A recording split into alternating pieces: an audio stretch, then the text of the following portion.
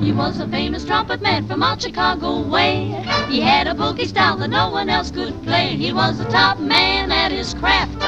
But then his number came up and he was gone with the draft. He's in the army now, a blowing reveille. He's the boogie woogie bugle boy of Company B.